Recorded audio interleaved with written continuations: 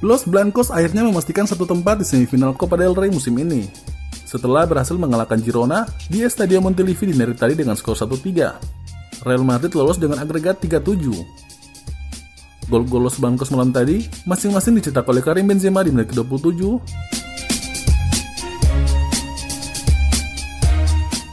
dan di menit ke-43.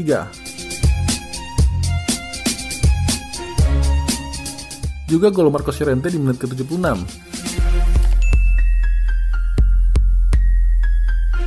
Sedangkan gol tim tuan rumah dicetak oleh Pedro Porro di menit ke-71.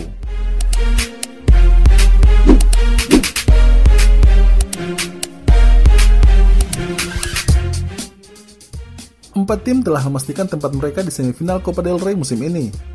Mereka adalah Real Betis, Valencia, Barcelona juga Real Madrid. Dan hasil drawing yang baru saja dilakukan, Real Madrid akan berhadapan dengan Barcelona di semifinal nanti. Leg pertama akan dimainkan pada 7 Februari di Camp Nou.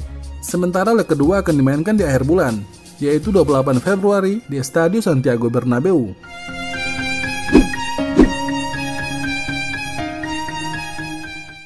Dua gol yang dicetak Karim Benzema ke gawang Girona di hari tadi menjadikannya sebagai top skor ke-6 Real Madrid sepanjang sejarah.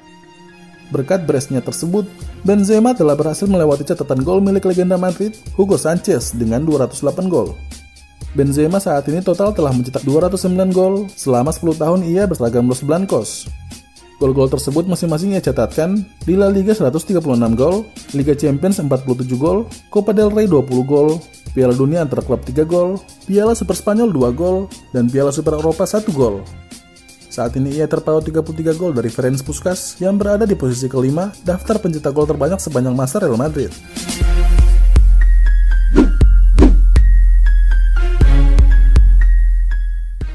Di Inggris, saat ini tengah ramai diperbincangkan kabar tentang ketertarikan Real Madrid pada pemain muda Manchester United, Marcus Rashford.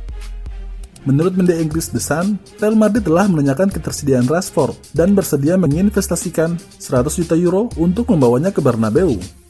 Dalam laporan yang sama, pemain 21 tahun tersebut dilaporkan enggan untuk memperbaharui kontraknya bersama Setan Merah, menyusul penandatanganan kontrak baru yang berdurasi 5 tahun oleh Anthony Martial.